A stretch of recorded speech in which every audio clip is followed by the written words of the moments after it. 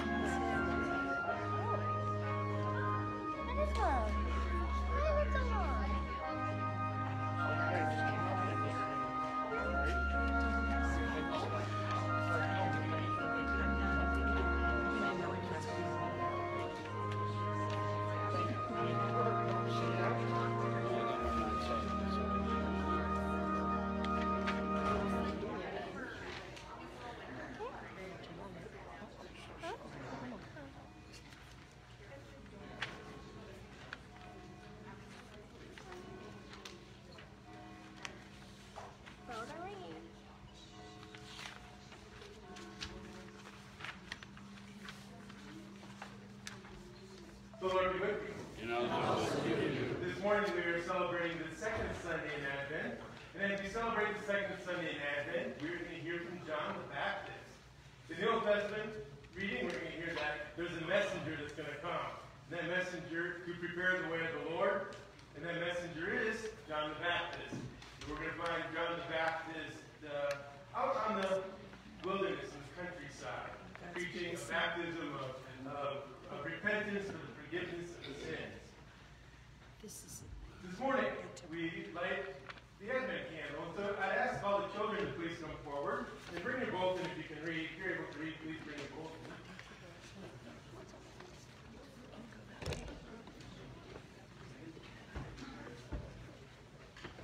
So, We're going to stand right here, and we're going to look at the Advent candles. Everybody stand right here, please. Uh, oh, right over here.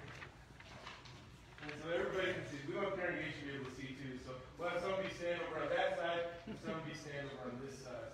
And I know I told some of you this the other night in Pathrunners, but during the season of Advent is the season of life.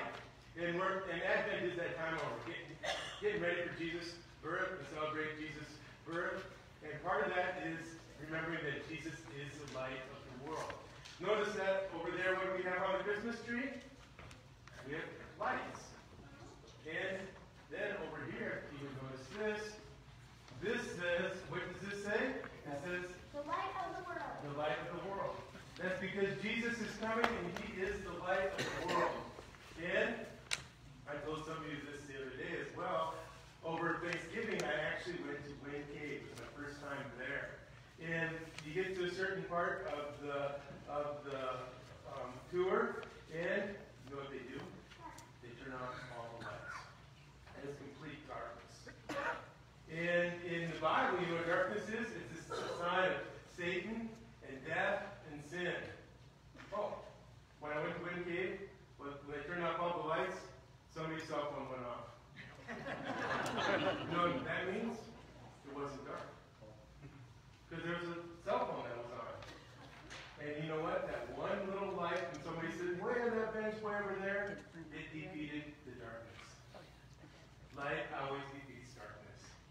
That's why we say Jesus Christ is the light of the world because he's defeated sin, darkness of sin, the darkness of death, the darkness of the devil. And he wins by being born for us, by dying for us, and rising for us. And that is why we have this lighting of the Advent candle. And let's go back to the Advent candle. And each one of these has meaning. And the first candle that we light has the meaning of hope. We talked about that last week. And today we have this, the candle of peace. The second one is peace. We have peace between us and God because Jesus was born, He died for our sins, and He rose. And so peace. So today we are going to do the liturgy. Those those of you who brought your bulletin and can read, in the congregation, if you turn to your bulletin, we are going to do the liturgy of lighting of, of the candle. And everybody would have to give a little bit more room because somebody's going to come light these two candles um, while we sing. Jesus Christ is the light of the world. the light no darkness can overcome. Let your light scatter the darkness. And illuminate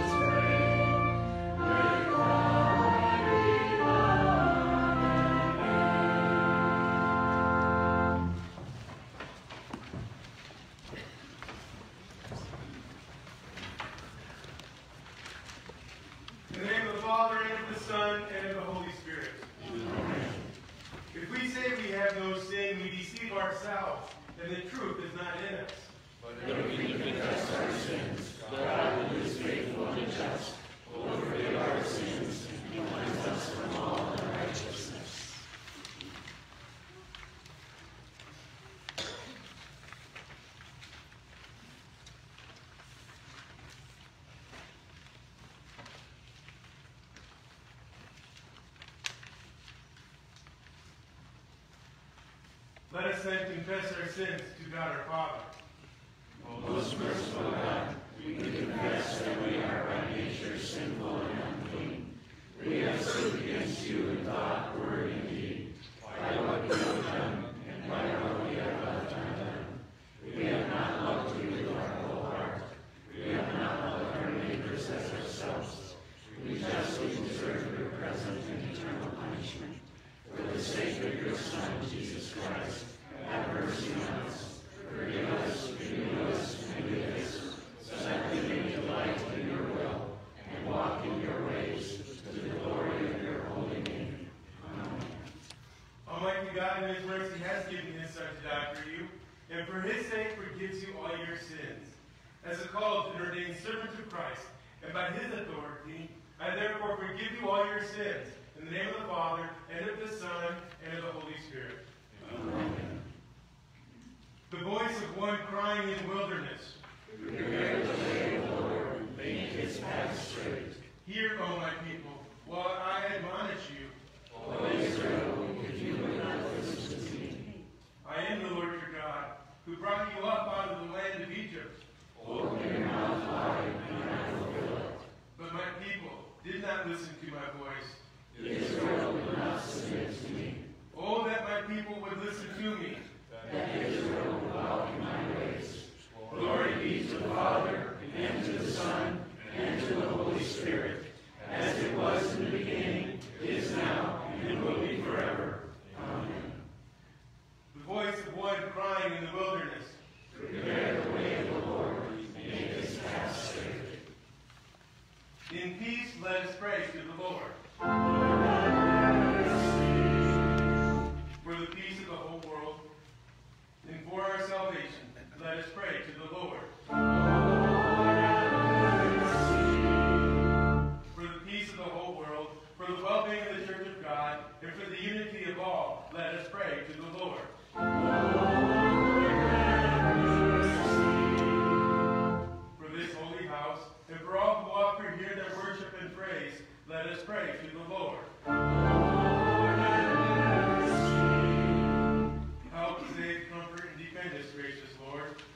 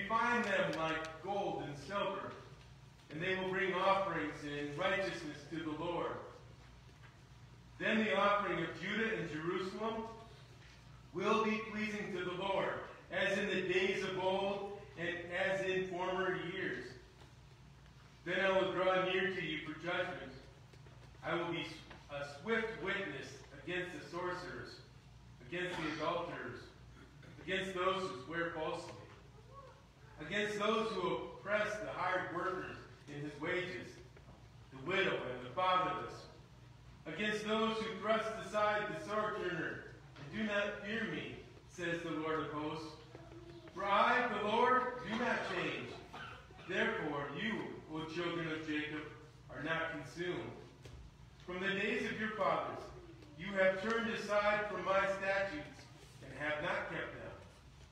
This is the word of the Lord.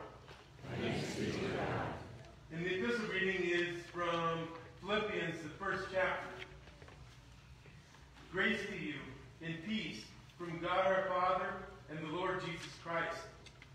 I thank my God in all my remembrance of you, always in every prayer of mine for you all, making my prayer with joy because of your partnership in the gospel from the first day until now. And I am sure of this, that he who began a good work in you will bring it to completion at the day of Jesus Christ. It is right for me to feel this way about you all, because I hold you in my heart. For you are all partakers with me of grace, both in my imprisonment and in the defense and confirmation of the gospel. For God is my witness how I yearn for you all with the affection of Christ Jesus. And it is my prayer that your love may abound more and more with knowledge and all discernment, so that you may approve what is excellent, and so be pure and blameless for the day of Christ, filled with the fruit of righteousness that comes through Jesus Christ, to the glory and praise of God. This is the word of the Lord.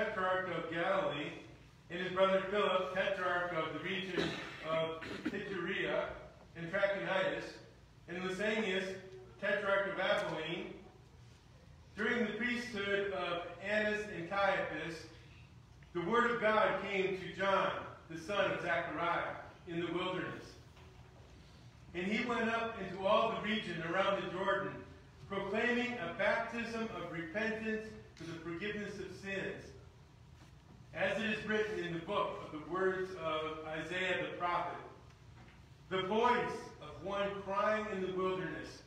Prepare the way of the Lord, and make his path straight. Every valley shall be filled, and every mountain and hill shall be made low. And the crooked shall become straight, and the rough places shall become level ways, and all flesh shall see the salvation of God. He said therefore to the crowds that came out to be baptized by him, You brood of vipers, who warned you to flee from the wrath to come? Bear fruits in keeping with repentance. And do not begin to say to yourselves, We have Abraham as our father. For I tell you, God is able from these stones to raise up children for Abraham. Even now the axe is laid to the root of the trees. Every tree, therefore, that does not bear good fruit is cut down and thrown into the fire. And the crowds asked him, What then shall we do? And he answered them, Whoever has two tunics is to share with him who has none. And whoever has food is to do likewise. Tax collectors also came to be baptized and said to him, Teacher, what shall we do? And he said to them, Collect no more than you are authorized to do. Soldiers also asked him, And we, what shall we do? And he said to them, Do not extort money from anyone by threats or by false accusation, and be content with your wages. As the people were in expectation, and all were questioning in their hearts concerning John whether he might be the Christ, John answered them all, saying, I baptize you with water, but he who is mightier than I is coming, the strap of whose sandals I am not worthy to untie. He will baptize you with the Holy Spirit and with fire. His winnowing fork is in his hand to clear his threshing floor and to gather the wheat into his barn. But the chaff he will burn with unquenchable fire.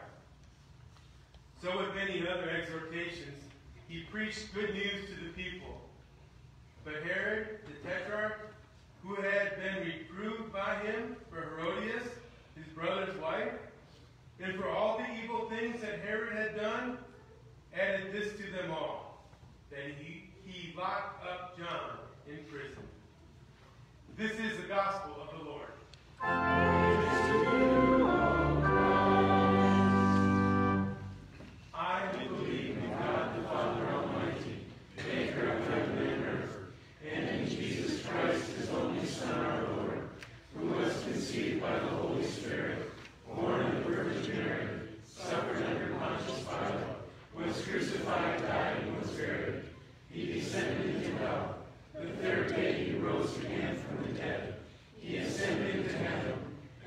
at the right? hand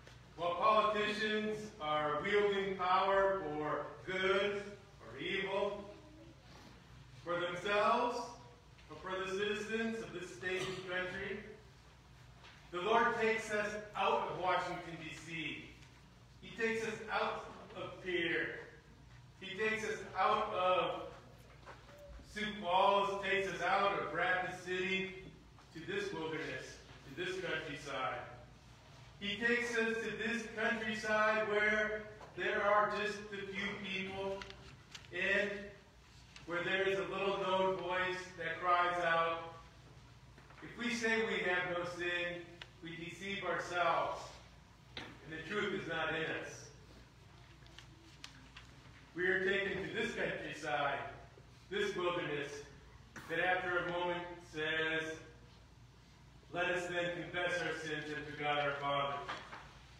And in that countryside and in this wilderness, all the people confess their sin, and then they turn their ears to the voice that says, For the sake of Jesus Christ, God forgives you all your sins. And instead of commanding my Lord Jesus Christ, I forgive you all your sins in the name of the Father, and of the Son, and of the Holy Spirit.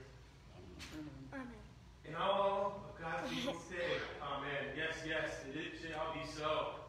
And that voice that says, I forgive you all your sins, sounds a lot like the last voice, the voice before that, and the voice before that, and the voice before that.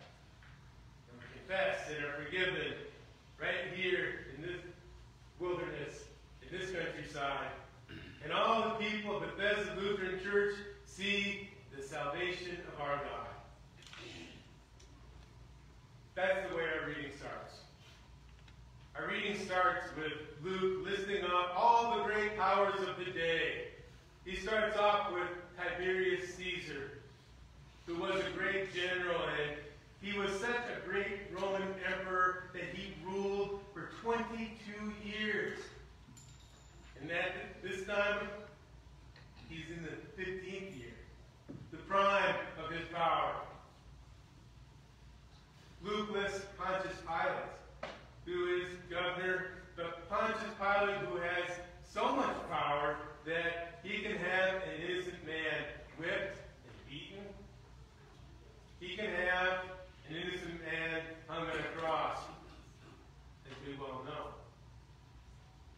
He lists the tetrarchs, which are governors of, of just a quarter of, of a, a piece of land, of, of territory. And they have such power that we hear about Herod, who actually puts John the Baptist in prison. And then Luke takes us to the religious powers of the day. He takes us to Annas, who is retired high priest, but he still has enough power in retirement that Luke lists him. Takes us to Caiaphas, who has such power as a religious figure that he can actually find a way to get Jesus put to death. And despite all that power, all that power in Jerusalem, all that power in the Roman emperor, all that power, where's the real thing happening? Luke takes us outside of all that power, out to the wilderness, out to the countryside, out to the Jordan River see the real power at work, to see the power of salvation. And the power of salvation is much tougher to see. Oh, we can see, we can see power, like earthly power.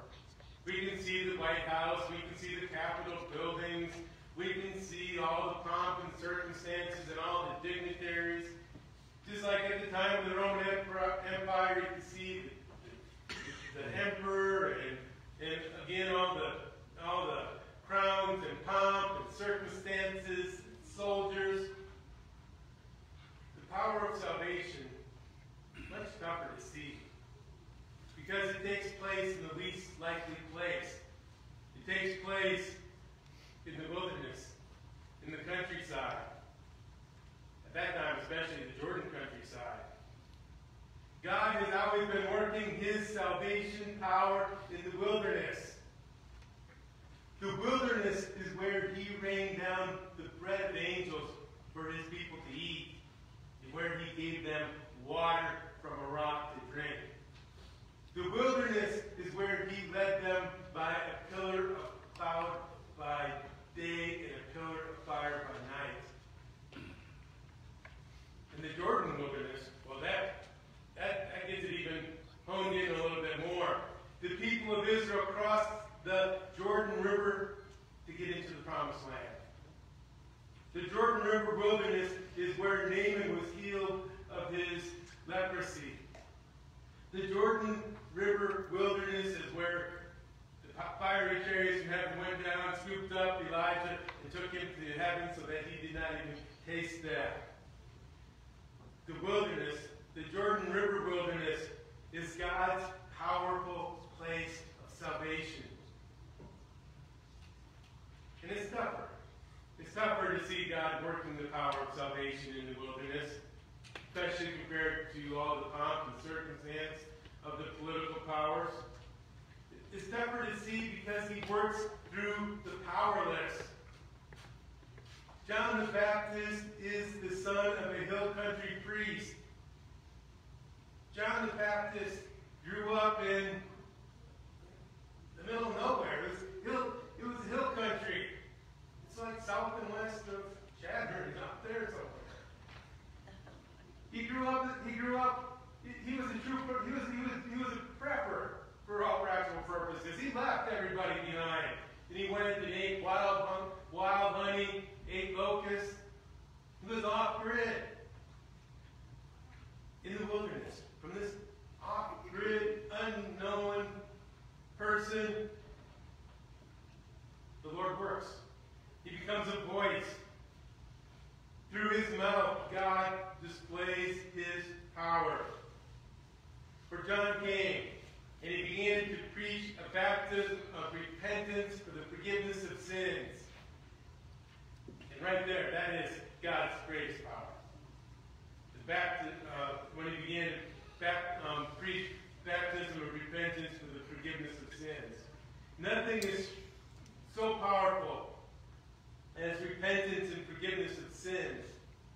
Angels in heaven rejoice over one sinner who repents. Jesus tells a parable about a prodigal son who repents, and as he returns, a father is running out to greet him, to forgive him. Jesus uses such language as for repentance and forgiveness as the one who is lost is found. The one who is dead is now alive. Jesus on the cross. There's a thief right next to him. And in that thief's final few hours and minutes in this world, he repents. And Jesus says, Today you will be with me in paradise. There's power. There's salvation and repentance and forgiveness of sins. God's power was at hand in the Jordan wilderness. God's power of repentance and forgiveness of sins is present today. So repent. Repent. Return to the Lord your God, for he is gracious and merciful, slow to anger, and abounding in steadfast love. Return to him. Confess your sins. Have them washed away down the, the water of your baptism, never to be seen again. Repent. You may have to change some of your ways. You may have to change some thoughts you have about God. You may have to change in some things. But repent and return to God, who freely forgives for the sake of Jesus Christ's death on the cross. That is the power of salvation that you are seeing here this day on this second Sunday in Advent. There's power. Because repentance comes not from yourselves, repentance comes from the Holy Spirit working through that call to repent. Telling you about God as your Father and Jesus as your Savior. Called a voice crying in the wilderness. Because it's just a voice, regardless of who it is. It's the Holy Spirit working through that voice. And the Holy Spirit is working through that voice, wherever it may be, to turn your hearts back to your Heavenly Father, to turn to Jesus, who is your Savior.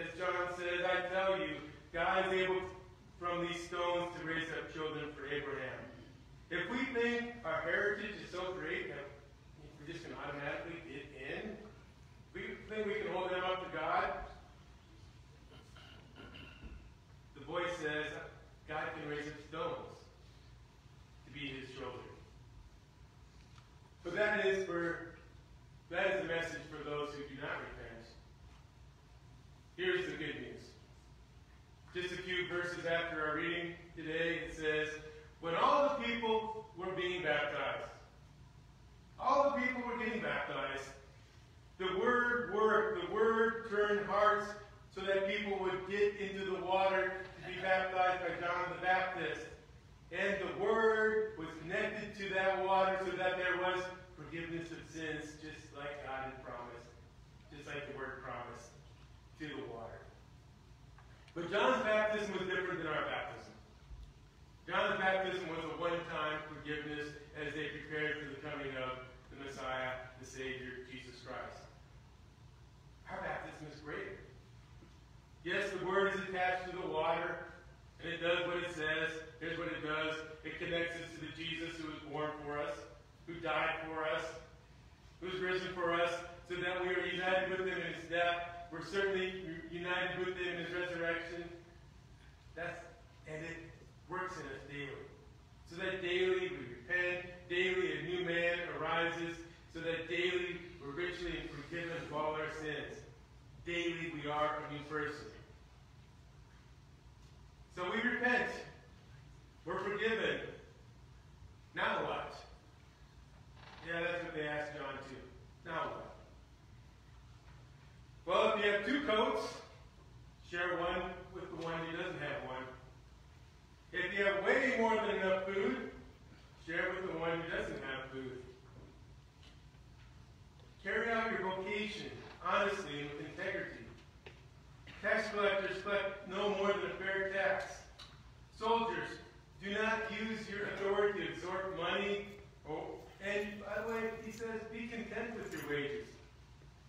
In other words, carry out your God-given vocation at home, at work, at school, in your community.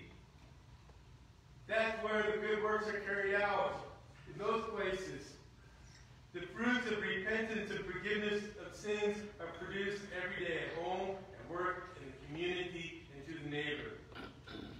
And there is power in those works, salvation power in those works.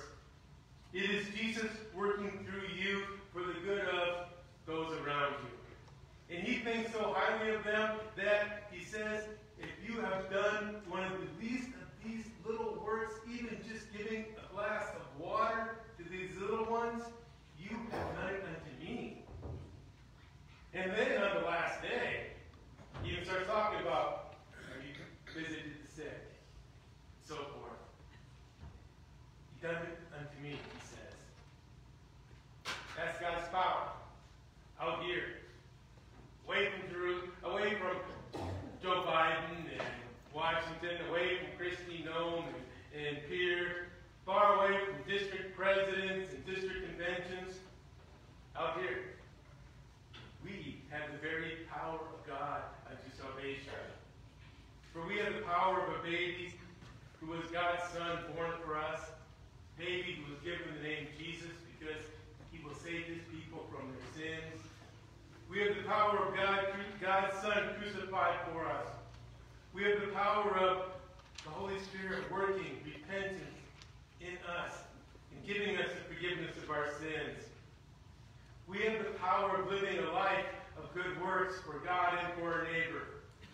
We have the very power of God of salvation. And today, all of you have seen God's salvation in Jesus Christ our Lord. In Jesus' name. Now may the peace of God, which passes all understanding, keep your hearts and minds in Christ Jesus unto life everlasting. We will now gather the offering.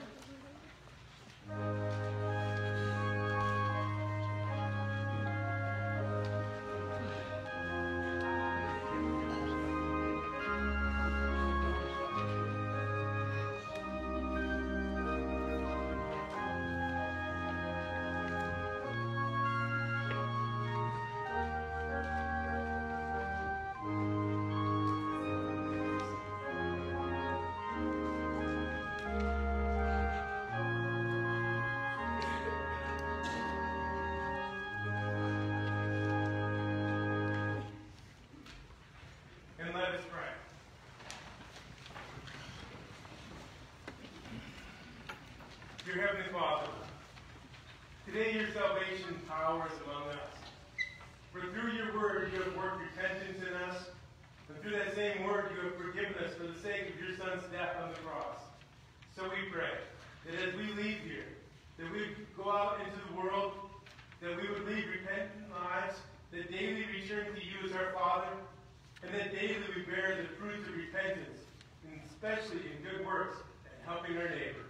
Lord, in your mercy, we pray for all those voices whom you have given to us, whom you have given the task of proclaiming and teaching your word. We especially pray for Peter Utah, our pastor in Christ. We also pray for President Scott Sailer, our district president, Matthew Harrison, our synodal president, that they would be faithful to your word. We also pray for all missionaries, especially Andrew Utah and Albert Sutton, as they proclaim your word on the South Dakota reservations. And Pastor Dan Jastrup, as he proclaims your word in Japan and Asia.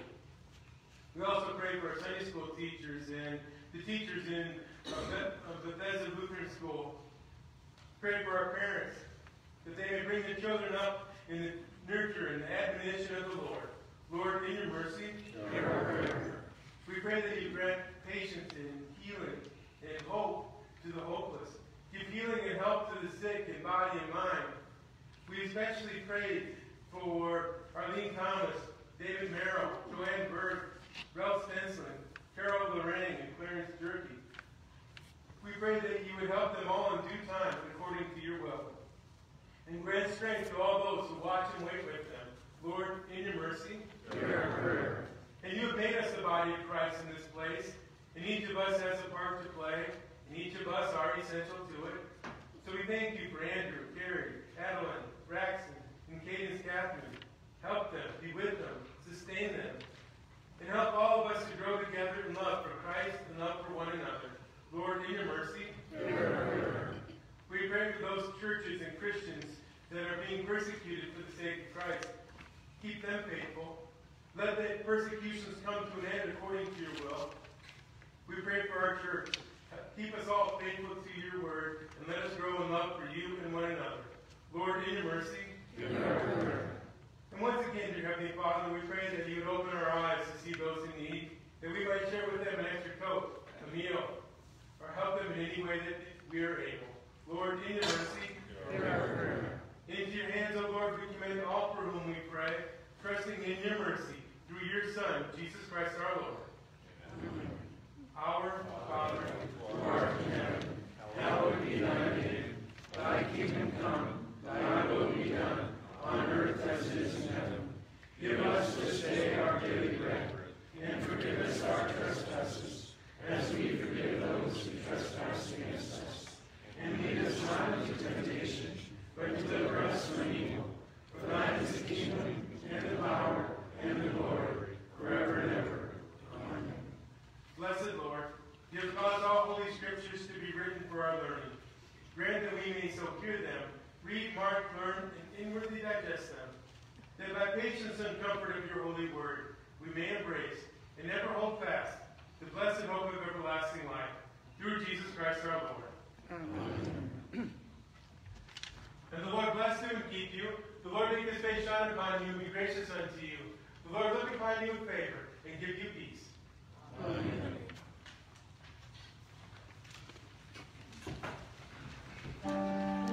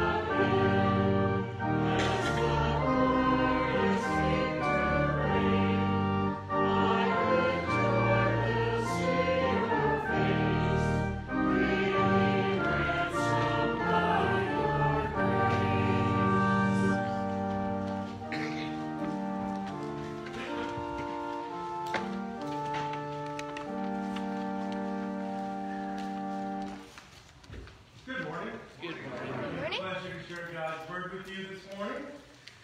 We begin today recognizing those who have birthdays today. Oh yeah, go ahead, we have announcement first. I just wanted to mention to all the Lutheran Women's Missionary League that this coming Friday, we are having, uh, putting together baskets for the shut-ins. And, uh, afterwards, we're going to, and that's gonna be at ten thirty, and then we're going to share a little bit and sing hymns, uh, Christmas carols and so on. So all LWMers, if you'd like to come, we enjoy having you. Also, if you want to give a donation toward the baskets, um, give it to Patty. Patty, raise your hand so everyone knows who Patty is, or myself, and I will give it to Patty. Thank you. Yes, well, sir. Yep. Okay, so I think, is, is Chuck the only one here this morning with a birthday? Is anyone else here today? Happy birthday? All right, who's Miss Artist for happy birthday today? Happy birthday to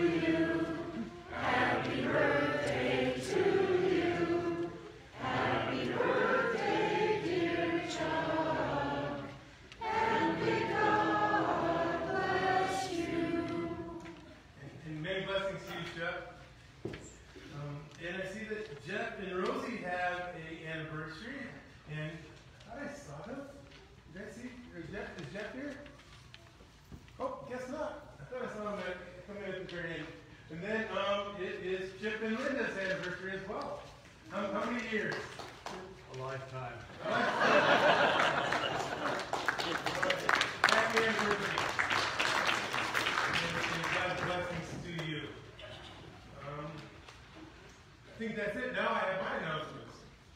And that is next Sunday is an important an important Sunday around here because the Bethesda Lutheran Church and Early Learning Center and the Sunday School and Pathfinders are going to have children's Christmas service in the morning 9 a.m.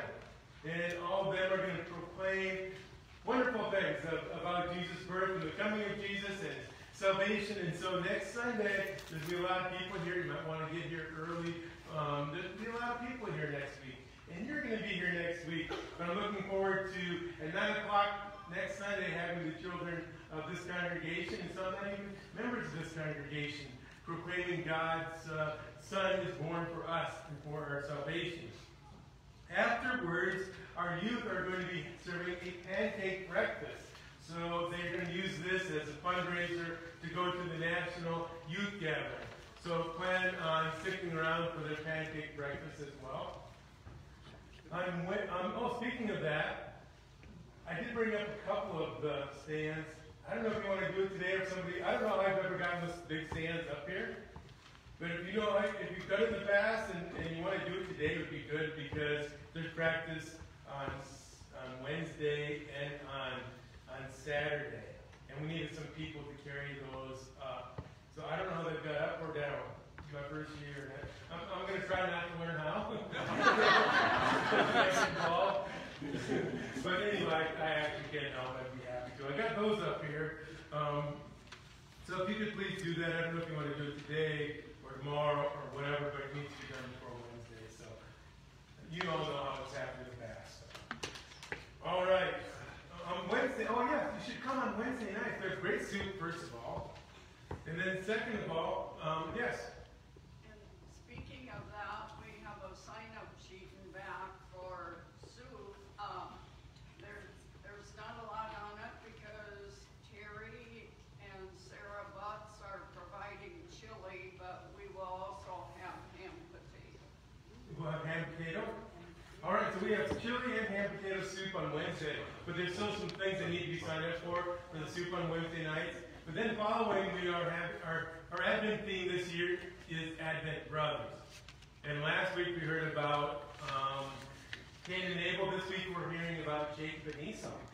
So please come on Wednesday nights.